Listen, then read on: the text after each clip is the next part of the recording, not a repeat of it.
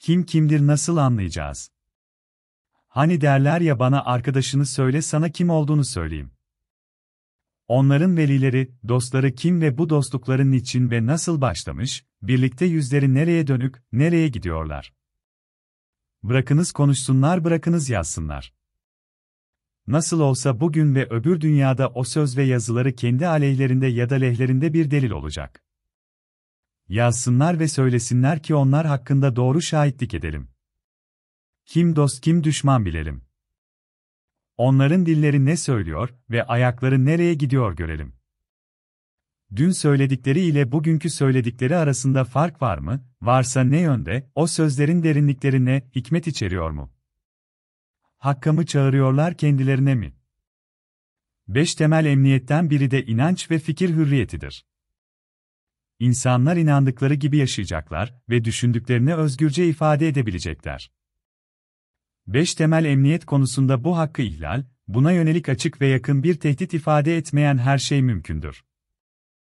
Sonuçta bu dünyada tartışıp durduğumuz şeyler hakkında Allah bize öbür dünyada hakikati açıklayacaktır. O zamana kadar akıl yolu ile söylediğimiz şey için bize hayır gibi gelse de o şeyde şer olabilir, şer gibi gelse de o şey hakkında Allah hayır murat etmiş olabilir. Biz bilmeyiz Allah bilir. Biz gerçeklik düzleminde akıl yoluyla ve akletmek için gözümüzde görerek şahitlik ederek, ilmel yakin, inceleyerek, ilim yoluyla, uzmanlık düzeyinde istişareyle, hakkal yakin insan, iman temelinde, vahiy ve risalet penceresinde, ilim, hikmet, sezgi ve ledün yoluyla ve aklı kullanarak varılan sonuçları ifade ediyor. Tekasür suresinde mealen ilmi yakin ile bilseydiniz cehennemi elbette görürdünüz buyuruluyor. Peygamberler, ilmüledün, sezgi, irfan, hikmet ve hal ilmi yani ilmel yakin ile cenneti, cehennemi ve ahiret hallerini bilirler. Bize bilmediğiniz şeyin peşine düşmeyin dendi. Ne kendi aklımı kutsarım ne de başkalarının. İlim ve hikmet sahibi, ehli hal ve aktin sözlerine itibar ederim ama benim için onlar da mutlak değil. Bizler vahye ve risalete iman ettik. Ama Resulleri ilah ve Rab edinenlerden değiliz. Onun için derin ya da görünen devletin, ya da devlet aklı diye bilinen faili meçhul akıllara da itibar edecek değilim. Sözü kim söylerse sözün kendisi muteberse onda sorun yok, ama yine de sözün sahibini de bilmek isterim. Din ve devlet büyüklerini ilah ve Rab edinecek değilim. Onlar dedi diye her dediklerine uyacak da değilim. Birileri bir şey dedi diye, o söz üzerinde düşünmeden külliyen söylendiği şekilde kabul ya da söylendiği şekilde reddetmek, sözü söyleyeni ilah ve Rab edinmek demektir. Yeter ki Allah benden razı olsun. Ben ondan razıyım. O bana taşıyamayacağım yükü yüklemez. İmtihanım için ben ondan sabır ve güç niyaz ederim ki o benden razı olsun. Gönlümü genişletsin, dilimin bağını çözsün ki sözüm etkili olsun ve o anlayışımı arttırsın ki söz ve olayları doğru anlayayım. Kınayanların kınamalarını aldırmadan yola devam etmemiz gerek. Bu yolun yolcularını şeytanın dostları kınayacaklardır. Mutmain bir gönüle sahip olanlar için bunlar bir imtihan vesilesidir. Her zorluğun arkasında bir ödül gizlidir. Onun için biz mütrefinleri yani refah peşinde koşanları, dünya hayatını bir oyun ve eğlence olarak görüp keyif peşinde koşanları kınarız. Biz hüznü seçtik, biz çileyi seçtik. Biz alemlere rahmet olarak gönderilen bir peygamberin ümmeti olarak hayatın cilveleri karşısında yese kapılmaz, tebessüm eder geçeriz. Vahyin ve Resulün bize bildirdiklerini bilselerdi insanlar az güler çok gözyaşı dökerlerdi. Evet sevmeme özgürlüğümüz de olmalı. Haksızlıklar, zulüm ve sömürü karşısında surat asmak hakkımız. Nefret söylemi bize yabancı değil. Tabi zamanına ve olaya bakarız. Normal şartlarda hüsnü zan etmek isteriz. Yaratılanı hoş görmek isteriz yaratandan ötürü. Yanlış yapana bile güzel ve hikmetle hakka ve hakikata davet öncelikli görevimizdir. Şeytanın yaratılışında bir hikmet vardır da, şeytanın şerrinden Allah'a sığınırız her vesileyle. Haksızlıktan, zulümden, sömürüden, şeytanın lanetli işlerinden nefret edeceğiz. Allah'ın lanet ettiklerine biz de lanet edeceğiz. Bir besmele çekerken günde belki yüz kez şeytana ve onun rızasının tecellisinin vesilesi olanların işlerine nefret söyleminde bulunuruz. Onlar da bizden nefret ederler. Bize mürteci derler, imanımızı irtica olarak nitelerler. Akif boşuna demiyor irticanın sizin nehçede anlamı bu mu diye. Rabbimiz Allah'tır diyen Asiye annemizin çektiği acıları düşünün. Ya da İslam tarihinin ilk döneminde işkenceyle öldürülen müminleri hatırlayın. Onlar, Rabbimiz Allah dedikleri için, en büyük işkencelere maruz kalırken Allah onların acılarını hafifletti ve üstlerine sabır yağdırdı.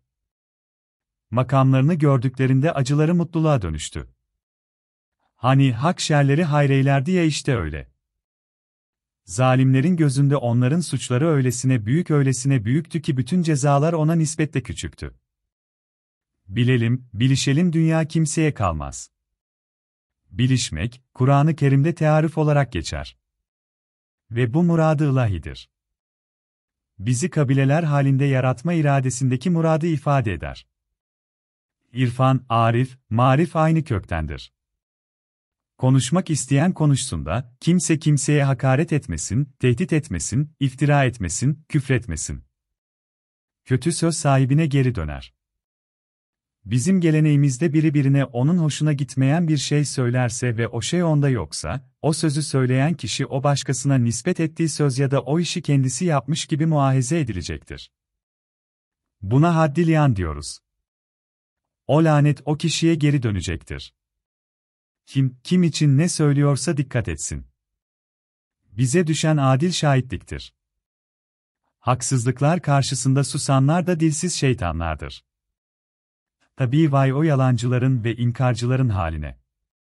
Kim, kim hakkında ne söylüyorsa iddiasını ispatla mükelleftir.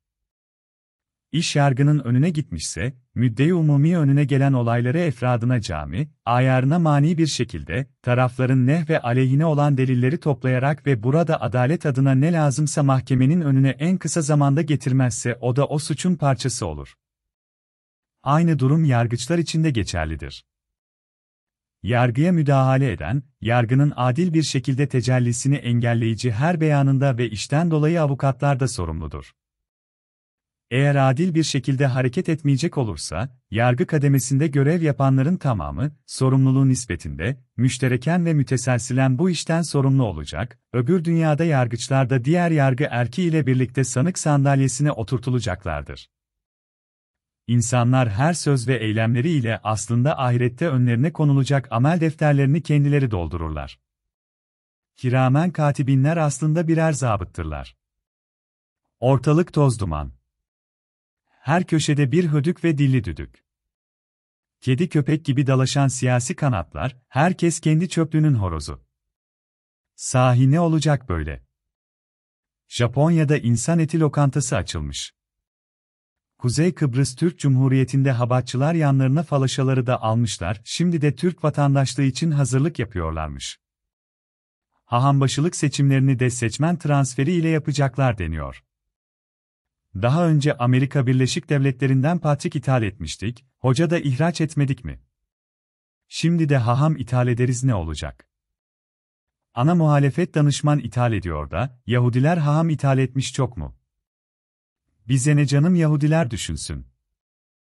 Bugün millileştirdiğimiz hahamları Türk dünyasına ithalat yapıyoruz, yarın da ihraç ederiz ne olacak? Hele şu çocuk gelin komplosundan yakamızı kurtaralım gerisi Allah kerim. Vurun genç evlilere, biyolojik cinsiyeti kaldırın bir yandan, bir yandan kadının şahitliğine devam, Lanzarotte'ye devam, Kur'an'ın arabuluculuk, hakemlik kuralını da yasayla hükümden kaldırın. Başörtüsü yasasıyla bu rezaleti örtemezsiniz, başörtüsünün ebadi yetmez. Durmak yok yola devam. Herkesin işlerini ve sözlerini kayda geçen kiramen katibinler var. Aklınızdan ve kalbinizden geçenleri, kapalı kapılar arkasında fısıldaşarak konuşulanları, kripto yazışmaları, şifreli telefonlarla yapılan görüşmeleri de kayda alan melekler var. Ve bir gün elbet, mutlaka, herkesin yaptıklarının hesabının sorulacağı bir hesap günü var. Benim, senin, onun, onların hesaplaşacağımız bir gün. Sadece yaptıklarımızın ve söylediklerimizin değil, yapmamız gerekirken yapmadıklarımızın, söylememiz gerekirken söylemediklerimizin hesabının sorulacağı bir gün. Selam ve dua ile.